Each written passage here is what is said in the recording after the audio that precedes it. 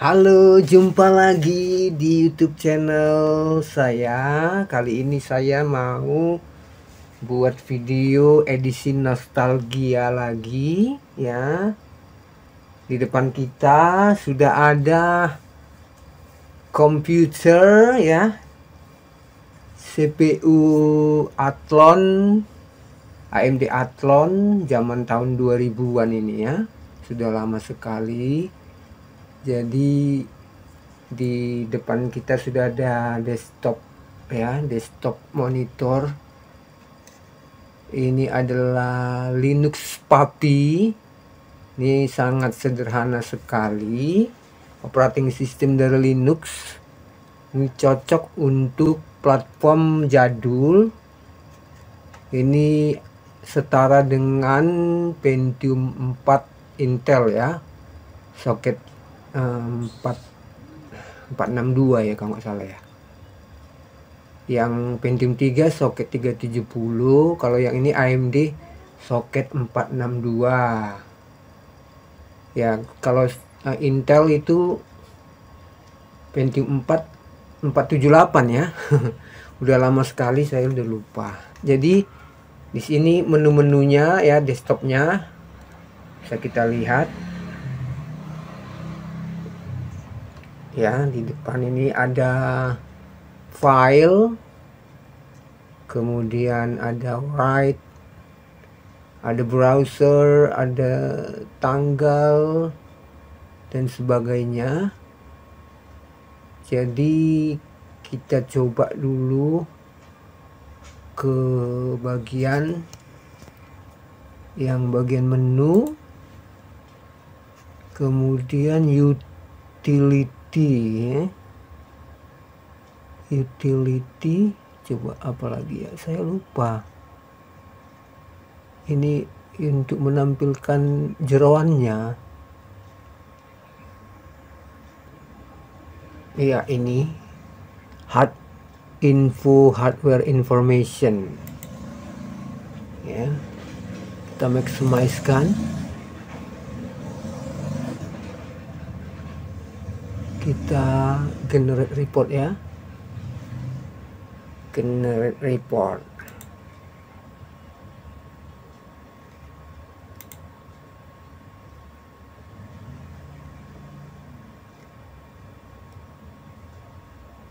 Mana ya? Lupa saya ngapainnya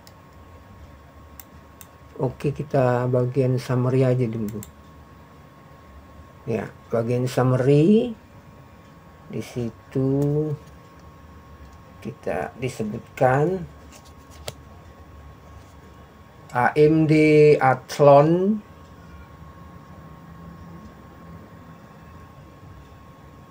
AMD Athlon. AMD Athlon XP 1800 plus. Dengan memori 350-an operating system Puppy Linux 0,4 display resolution 1024 x 768 audionya via 8233 atau via 2 8235 oke kita ke operating system. Ini Linux kernelnya Linux 26 21 bla bla bla. Kalau kita bagian kernel boot bootsnya nggak ada. Oke ke bagian device. Bagian device aja langsung. Device ke prosesor ya tadi udah. Ini lebih detail lagi.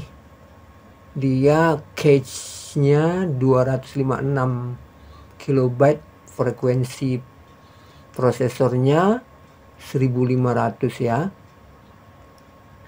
megahertz. Kemudian capability-nya floating point bla bla bla bla. Oke ke bagian memori. Bagian memori ini totalnya. Ini kalau nggak salah dua keping ya. Dua keping memori nggak tahu di bagian mana ini. Kurang jelas juga. Oke bagian device USB sensor. Sensornya nggak kedetek.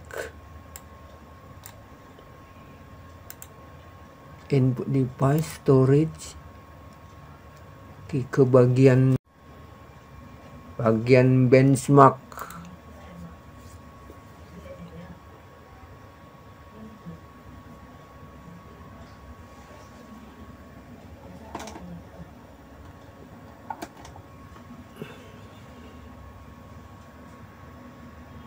ya bagian benchmarknya. Di sini disebut this machine. Ya this machine skornya 9600an sementara untuk Intel Celeron skornya 8700 kemudian CPU Fibonacci.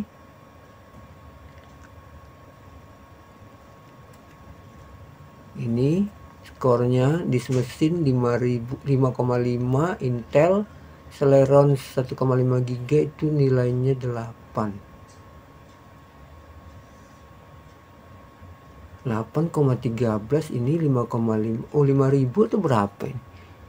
Kok ini barnya lebih dikit? Ya nggak jelas ini.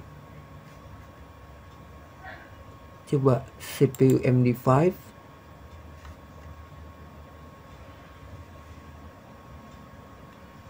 CPU MD5 ya CPU MD5 ya di mesin 45,7 Intel Celeron 1,5 GB 38 bla bla bla. Begitu aja dulu informasi eh, sistemnya. Coba kita buka program write program write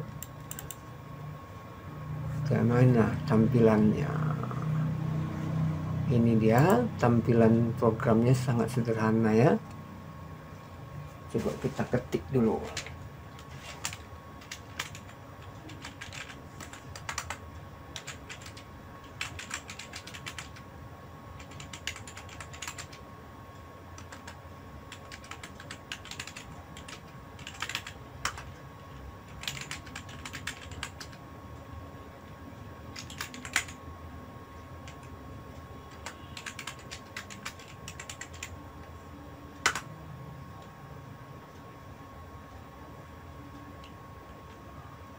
ya lumayan bagus kita buka yang lain.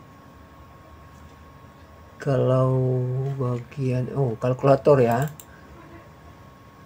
Sangat ringan ya. Eh kalkulator ini semacam Excel. Ini semacam Excel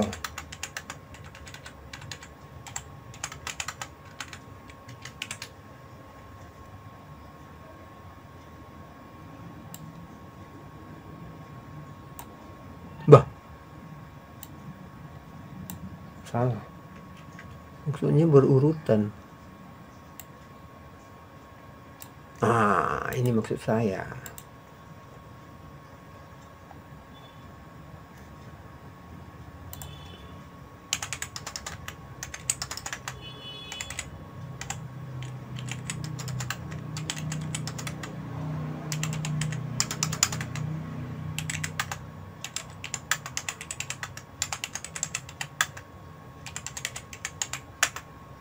Oke, kita ini kan summary.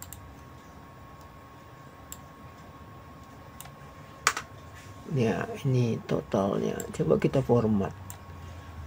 Format koma. Oh, gitu ya. Masih hafal juga saya. Ya lumayan ya. Gratis ini Linux ini. Kita nggak perlu bayar-bayar operating sistemnya ini apalagi ya kita buka draw.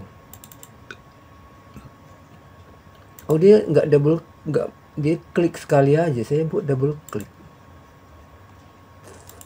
Inilah draw.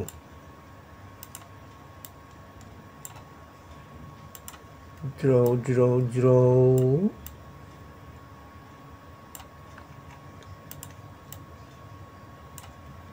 Ya lumayan ya. Membesarinya gimana? Ini ya ngebesarinya. Wow mantap juga ya. Sederhana. Apalagi ya? Calculate ini calculate maksudnya Excel macam Excel nah, kan? Dia sekali klik aja. Apalagi? Oh buka file dulu. Ini dia buka file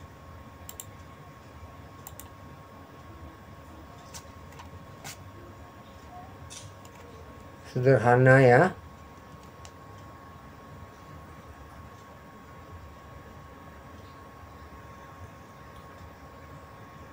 Sederhana tapi lumayan.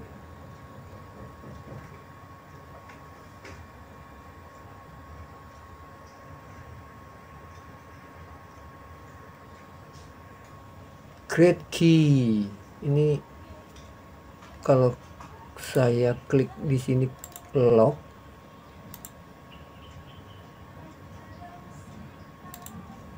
Ada locknya zip. Ada juga zip ini. Buat file yang di zip. Help welcome to puppy version 4 release may 2008 hi i am barry color the original developer of puppy operating system blah blah blah blah. Thank you berry color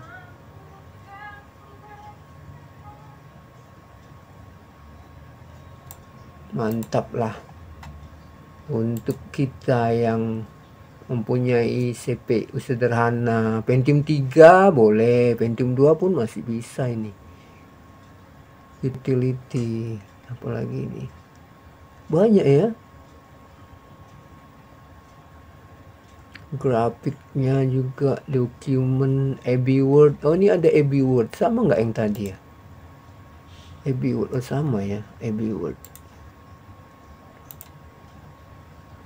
Dokumen dokumen personal. Multimedia.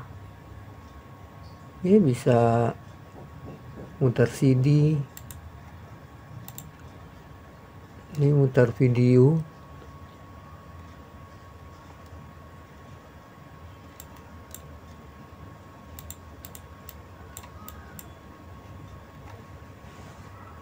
Ya itu aja lah dulu ya Eh, edisi nostalgia kita. Kita lihat lagi hmm, jeronnya secara fisik. Inilah motherboardnya. Motherboardnya ini buatan produk apa ini ya? Mereknya saya nggak jelas. Oh buatannya Biostar ini. Lambangnya ini lambang Biostar itu kan? M7 VIIQ itu dia. RAM-nya kalau nggak salah 256 ditambah 128 ini udah lama banget ya jadul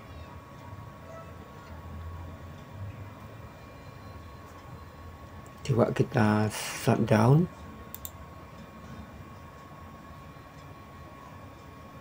ininya kita close. Document save? No. Don't close. Eh don't close. Discard. Close without saving. Oke okay. Oke di menu-menu yang sebelah sini coba kita lihat ya. Itu ada indikator RAM-nya kalau nggak salah ini. Ya ya RAM-nya 168 MB free. Ini ada tanggal